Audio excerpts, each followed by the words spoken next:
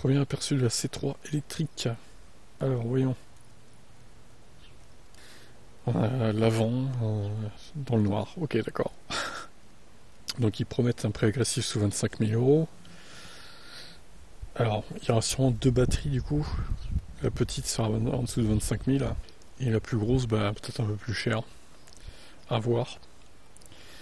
Pour faire baisser les coûts, Citroën veut utiliser une version plus économique de la plateforme CMP. Stellantis la nomme Smart Car, qui sera aussi utilisée par Fiat. Elle tient son origine de la C3 low cost que Citroën a concocté pour l'Inde et l'Amérique latine. Le nouveau patron de Citroën expliquait que le véhicule aurait les équipements attendus par la clientèle européenne. En clair, il y aura l'essentiel. Encore une formule clairement calquée sur celle de la Sandero. Le responsable avait aussi promis une autonomie de moins 300 km dans la version de base, ce qui est pas mal en rapport du prix. Ouais, mais alors, est-ce que c'est 300 km mixte ou WLTP ville Du coup, ça, ça, change. Hein. Ce que montre le premier teaser, c'est que le look sera modifié par rapport à celui de la C3 indienne. Le modèle européen va inaugurer en série le nouveau design de Citroën, annoncé par le concept Oli.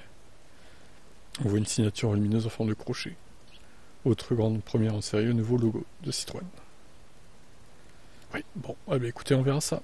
Je pense qu'elle va être présentée euh, euh, dans quelques mois, quoi. Hein avant la fin de l'année, à mon avis. Peut-être dès septembre ou octobre. Affaire à suivre. Ciao.